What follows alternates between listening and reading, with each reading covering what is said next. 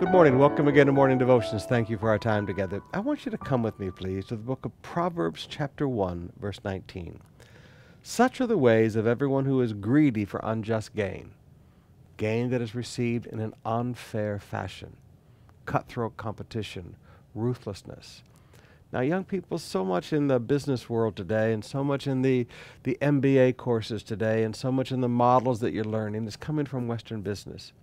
And the idea is how much money can you make, not are you fair? Now, I want you to notice when you're greedy for unjust gain, when you don't care about being fair to other people, it takes away the life of its possessors. It takes away their life. It shortens life.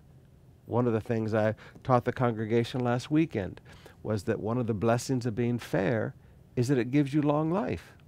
Greedy shortens your life.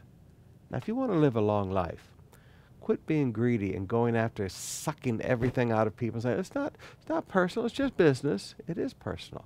When you bankrupt somebody, when you destroy somebody, it is personal.